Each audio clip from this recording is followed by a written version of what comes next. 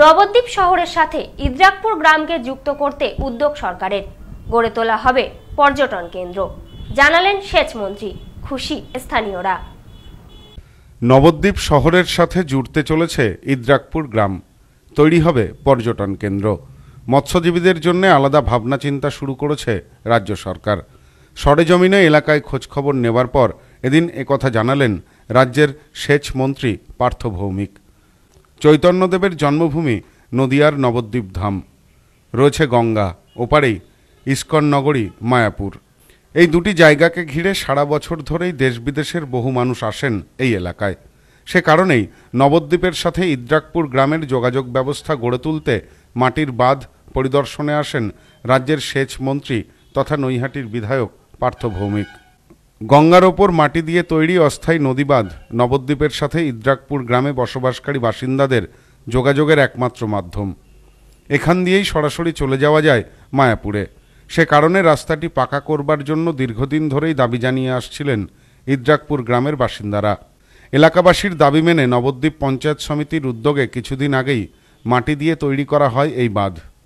এলাকার মৎস্যজীবীদের উন্নয়নের জন্য তাদের ভবিষ্যতের কথা চিন্তা করে এবং শীতকালে ওই এলাকাতে বহু পরিযায়ী পাখি আসে।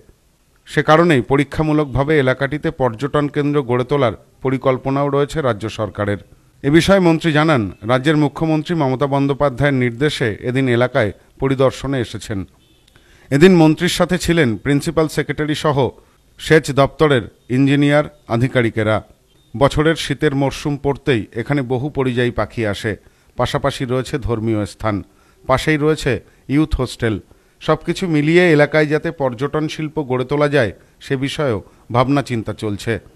দ্রুত কাজ হবে বলেও জানিয়েছেন মন্ত্রী। এ খবরে স্বভাবতই খুশি স্থানীয়রা। মন্ত্রী বলেন, মৎস্যজীবীদের কথাও মাথায় রাখা হচ্ছে, কারণ যারা মাছ ধরে জীবিকা নির্বাহ করেন, তাদের বিষয়টিও খেয়াল রাখতে হবে। আপনারা জানেন যে এখানকার দীর্ঘদিনের অত্যন্ত জনপ্রিয় বিধায়ক নন্দদা বলেই আমরা জানি। তা এখানের একটা দীর্ঘদিনের সমস্যা আছে।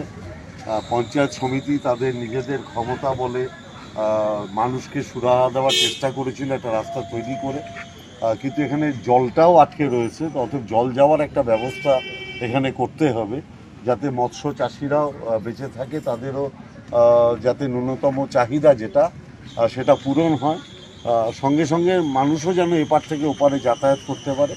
আর এখানে প্রচুর বাইরের পাখি আসে শীতের মরশুমে। অর্থাৎ এটা একটা ভালো পর্যটন কেন্দ্রও বটে। প্রচুর মানুষ আছে এবং এখানে ইউথ হোস্টেল আছে। যাতে সামগ্রিকভাবে আমরা পর্যালোচনা করছি যে কীভাবে এই এলাকাটাকে এক হচ্ছে মৎস্য চাষিদের জন্য ব্যবস্থা করে দেওয়া যায়, এলাকার মানুষের জন্য ব্যবস্থা করে দেওয়া যায় আবার পর্যটন শিল্পও যাতে উত্তরোত্তর বৃদ্ধি পায়। সমস্ত কিছুই একটা কাজের মাধ্যমে হওয়া সম্ভব।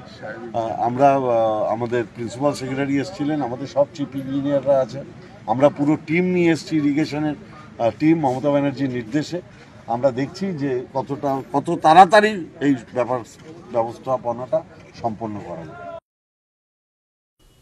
Bureau report news no man's land, Nadia. বাঙালির প্রাণীর উৎসব দুর্গাপুজো। নতুন নতুন কালেকশন নিয়ে আদি মোহিনী মোহন কাঞ্জিলাল এবার তোমার শহর বনগা, শিমুলতলার মোড় যশোর রোড। সবাইকে জানাই সাদর আমন্ত্রণ।